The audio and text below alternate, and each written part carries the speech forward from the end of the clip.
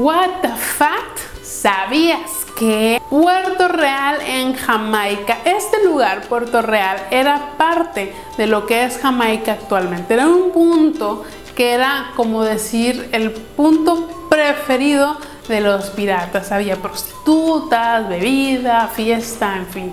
Todo el mundo se la pasaba muy bien ahí.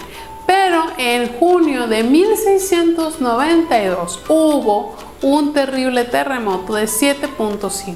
Estuvo tan fuerte que una gran parte de la isla se hundió, de la isla de Jamaica. Dos terceras partes de la isla, imagínense, o sea, era realmente grande Jamaica. Y con ellos se fueron 2.000 personas que murieron en ese terremoto. Fue una de las ciudades más grandes en su época y actualmente se encuentra a 12 metros de profundidad. Las pirámides de Yonaguni-jima en Japón. Bueno, en este caso hay muchas especulaciones. Hay personas que dicen que no, que estas, estas este, estructuras son algo hecho por la naturaleza. Hay otros que la verdad les parece muy difícil y la verdad yo leyendo lo que leí sí me parece muy difícil que sea un acto de la naturaleza. Para empezar, existe una pirámide que mide 76 metros de alto y es una pirámide, o sea que es muy difícil que la verdad esté hecho por la naturaleza. Se cree que esta ciudad antigua se hundió hace 2000 años y esta pirámide en caso de haber sido un, algo hecho por los humanos se habría hecho aproximadamente en el 10.000 antes de Cristo. La ciudad de Tonis Heracleidón en Egipto. Esta ciudad tiene dos nombres. Heracleidón era como lo llamaban los griegos y Tonis como lo llamaban los egipcios. Estuvo en alguna vez en el noreste de lo que es Egipto y fue una de las ciudades más importantes para lo que es el comercio. Se han encontrado eh, monedas, 60 barcos, inscripciones en griego y en Egipto y muchas esculturas que le hacían honor a los dioses. La ciudad de Lord Krishna. Esta ciudad por mucho tiempo se creía que solamente era un cuento, un mito, pero en el 2000 la encontraron esta ciudad. Resulta que esta ciudad, según la historia, tenía al menos 70 mil palacios y todos estaban hechos con metales preciosos, oro, plata, en fin, todo lo que se te ocurra.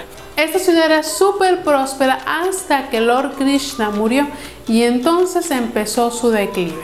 Actualmente está a 40 metros bajo el agua y se encuentra al lado de una de las ciudades más antiguas de la India, se llama Dawarka. Los templos sumergidos de Mahalabalipuram en la India. Bueno, existe un templo, pero la historia o los cuentos decían que realmente eran siete, pero nadie les creía hasta que en el 2012 descubrieron que lo que pasa es que los otros seis estaban hundidos y en el 2012 encontraron estructuras, plazas que estaban ahí. La ciudad de León en el lago de Qingdao en China. Esta ciudad está realmente increíble en cuestión del tamaño. Mide aproximadamente 62 campos de fútbol americanos. Es gigante y se encuentra aproximadamente entre 26 a 41 metros de profundidad. La ciudad de Alejandría, el palacio de Cleopatra. Pues bueno, Cleopatra es una de las faraonas más famosas de la historia y su palacio fue encontrado recientemente en el océano y se cree que se hundió debido a un terremoto que, se, que sufrió hace 1500 años. La bahía de Nápoles en Italia, eran Las Vegas de la época donde iban los césares como Nerón, como Cicerón y se iban ahí a ponerse bien contentos y a dar la vuelta pero debido a terremotos, volcanes y ya saben, mil cosas, quedó hundido en el mar. Se dice que está lleno de tesoros y que es bastante impresionante ver todas las esculturas y cosas que están ahí. El templo del lago Titicaca en Bolivia, Perú. Pues bueno, resulta que en el lago Titicaca, que es uno de los lagos más altos del mundo, existe unas ruinas pre-incas, o sea que tienen de entre 1000 y 1500 años.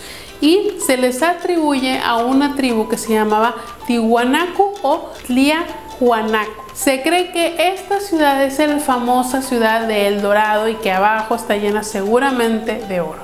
Suscríbete.